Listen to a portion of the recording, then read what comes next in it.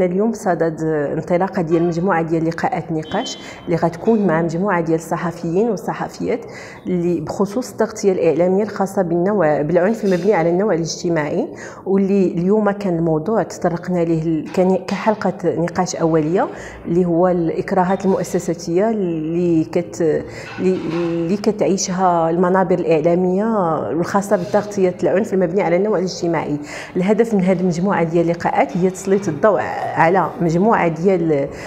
ديال الأدوات وكذلك الإكراهات والمعيقات اللي كتواجهها الصحفيين والصحفيات اللي كتكون كعائق من أجل تحرير مقالات صحفية وتحقيقات معمقة خاصة بهذا العنف المبني على النوع الاجتماعي. إن شاء الله هذا برنامج أو مشروع اللي كان بشراكه ديال مجموعة ديال المؤسسات اللي هي دولية وعلى رأسهم association أميرا وكذلك Network of Change واللي غادي والبرنامج راه تم تشكيل من خلاله مجموعة ديال المجموعات عمل اللي هما خمس مجموعات عمل على صعيد خمس مناطق واللي غادي يتم الاشتغال ديالهم وغادي يكون مجموعة ديال اللقاءات ومجموعة ديال دورات تكوينية من أجل خدمه الإعلام من أجل تغطية صحفية فعالة للعنف القائم على النوع الاجتماعي.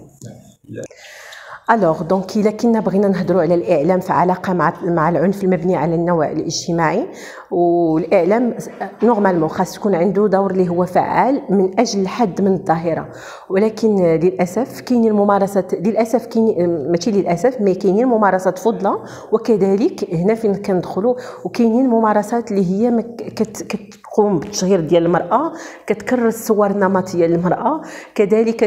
كتكون بعيده على ضمان حقوق الانسان على المجال الحقوق بعيده عن المجال الحقوقي. كذلك كتكون كإكراهات من أجل التعبئة والتحسيس لفائدة المجتمع. دونك هنا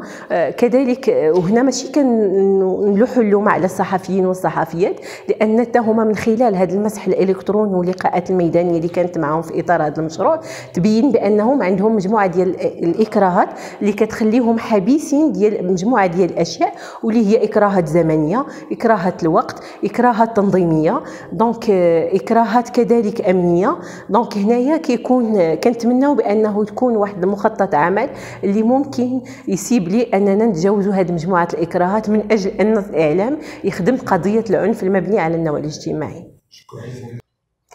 دونك حنا كفريق جمعية نواه للمرأة والطفل كنشتغلوا في هذا البرنامج من أجل التنسيق مع مجموعة عمل اللي هي إن شاء الله غادي تمثل جهة مراكش أسفي من أجل تغطية اعلاميه فعاله لفائدة النساء ضحايا العنف القائم على النوع الاجتماعي واللي غادي تقوم كذلك واللي ماشي أول مرة أننا كنشتغلوا على هذه القضية بل هي من بين اهتماماتنا ومن بين الأشياء والمشاريع اللي اشتغلنا عليها هي العنف العنف المبني على النوع الاجتماعي من طرف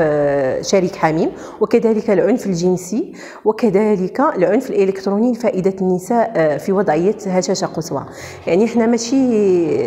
إحنا من مجتمع مدني وحنا من الناس اللي حاملين القضية ديال العنف وكنقوموا بمجموعة ديال برامج عمل من أجل الحد من الظاهرة وكذلك من أجل تشخيصها حتى يتسنى لنا إعداد برنامج للتصدي لها.